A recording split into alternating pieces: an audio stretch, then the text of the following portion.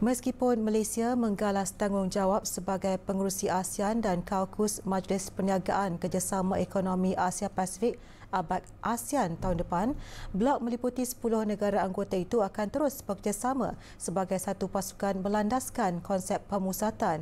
Perdana Menteri Datuk Seri Anwar Ibrahim turut menyatakan penghargaan kepada ABAC atas komitmen teguhnya dalam menggalakkan inisiatif yang memberi tumpuan kepada ASEAN melalui kaukus ABAC ASEAN.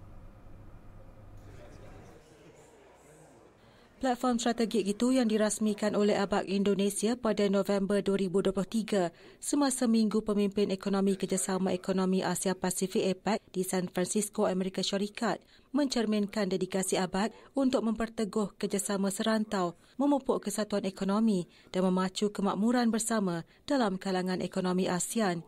Datuk Seri Anwar berkata kini adalah masanya untuk komuniti perniagaan Malaysia menggalas peranan utama. Although technically we are sharing, but we work together. There's no question about Indonesian uh, taking over, Malaysian taking over. You know, this is this arrangement is unique and it's our duty to make sure that it works. Beliau berkata demikian pada sesi dialog pemimpin APEC bersama ABAC di Lima, Peru pada Kamis.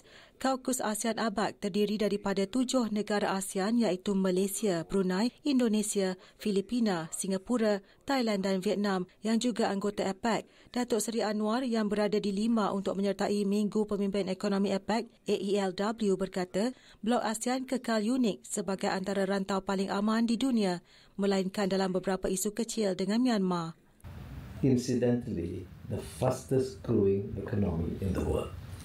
And um, therefore, you need to utilize the resources available, collaborate as much as possible, Perdana Menteri berkata rantau ini juga perlu memanfaatkan kelebihan digitalisasi. Selain itu, Datuk Seri Anwar berkata ASEAN perlu memastikan bahawa kepayahan golongan miskin bandar dan penduduk luar bandar dapat diatasi agar jurang ketidaksamaan tidak semakin meluas. Beliau turut menyokong seruan Prabowo bahawa ASEAN perlu melaksanakan lebih banyak usaha untuk meningkatkan kerjasama antara perniagaan.